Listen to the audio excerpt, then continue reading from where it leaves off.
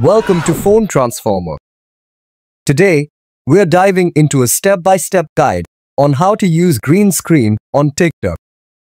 Before we start, make sure to subscribe to our channel for more helpful tips and tutorials. Step 1. First, open the TikTok app on your device. If you don't have it installed, you can easily download it from the Google Play Store. Step 2. Next, tap on the plus icon located at the bottom center of the screen to start creating a new video. Step 3.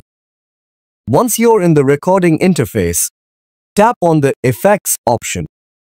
This is where you'll find a variety of special effects to enhance your video. Step 4.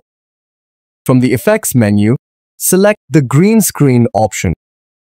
This will enable the green screen feature, allowing you to replace the background of your video. Step 5. Now, you can either capture a video or upload one from your gallery to use as the background. After you've chosen your background, proceed to record your video or take a photo with the new background in place. And that's it. Don't forget to like and subscribe for more great content. Thanks for watching and stay tuned.